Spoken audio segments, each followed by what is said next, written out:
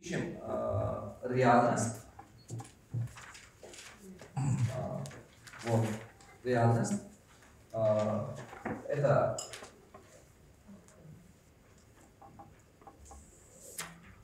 реальность, фантазии или как я тебя вижу, как я тебя вижу. Ожидание? Ну, типа ожидания и так далее. Как я тебя вижу. Мы его раньше назвали фантазия, лучше фантазию убрать. Лучше написать, как я тебя вижу. То есть я как вижу, кем ты мог бы стать. Классно же, со стороны же лучше, как я тебя вижу, кем ты мог бы стать, или как я тебя вижу, кем ты мог стать. И здесь пишем табу, то есть запрет. Ну как я тебе не представляю, и ни в коем случае не хочу, чтобы ты был таким. И так далее. И вы человеку говорите, вот давай э, заполняй вот это все, как есть. Он заполняет, заполняет, заполняет реальность. Потом заполняет сюда, как он видит.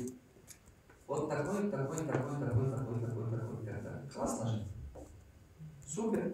И потом он заполняет вот здесь тоже. А если вы человек, который хотите работать над собой, хотите работать над собой, например, здесь он пишет, что ты классный, э, скажем, надежный друг, здорово. Вот это надежный друг тоже вы принесете сюда, значит, эта книга должна оставаться навсегда. Но здесь еще есть. Есть те вещи, которые у вас нету. По ее мнению, еще вы должны развивать себе. Но что-то отсюда надо сюда принести от реальности. Вот то, то, что вы могли бы себе развивать и так далее. Вещи, которые могли бы себе добавить, развивать и так далее. А здесь есть, например, что ты не пунктуальный, или ты не вовремя, или ты нарушаешь условия договора, не держишь и так далее, и так далее. Вы его вот так привезете сюда. Табу. Я прекращаю эту ерунду, больше не буду делать так. Вот так привезете сюда, чтобы быть более ответственным и так далее. Или здесь написано, что ты ревнивый очень. Бывает такое? Ты ревнивый. Кто из вас ревнивый человек? Честно говоря. Вот я опасные люди, с вами опасные люди. Вот, да, вы привезете его сюда и так далее. Где вы хотите. То есть оставьте тут то, что улучшает качество вашей жизни. Я эту таблицу делаю со многими моими родными.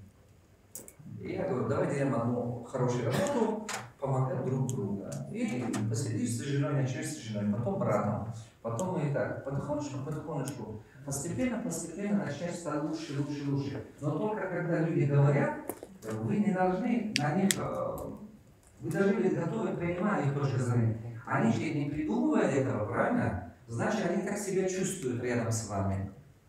Значит, они испытывают. А для этого надо быть очень мудрым, чтобы быть открытым. И сидеть, думать, давай попробую это исправить себе, давай попробую это сделать. Соответственно, как партнер, как друг, как это, давай попробуй это сделать. И знаете, изменение себя, вот себя изменить, это сложно. Согласны? Потому что формированы привычки же, но почему бы, если мы смогли их воспитать в себе, эти отрицательные привычки, в себе воспитали, а почему бы нам не исправить и не воспитать себе хорошие? Согласны? Но это болезненно. Вот меня себя очень болезненно. Но боль испытываем не мы, боль испытываем наши гордыни, наше эго. Боль испытываем не мы, ребята. Помните, если вам что-то потом в душе не понравится, это не вы, это ваше как раз есть эго. Вообще эго человек, он всегда мучается, он испытывает боль и так далее. Но побеждает тот, кто это осознает. Вот тот момент надо осознать, и это эмоционально ты растешь. Ты внутри, духовно, эмоционально очень сильно растешь. Такой классный скачок будет. Я иногда это делаю с моими партнерами. Я говорю, послушай, давай поговорим, давай сделаем такое. Почему? Это позволяет нам осознавать и границы не нарушать.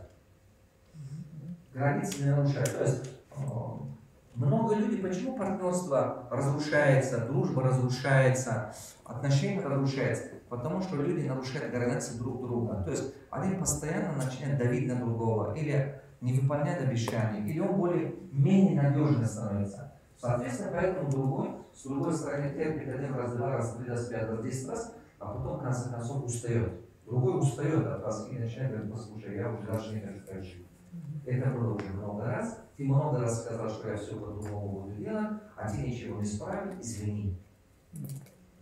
Это так. А знаете, но это делает человек, который готов сам над собой работать. Ты знаешь, в чем так? Ты лучше меняй их местами, а чуть-чуть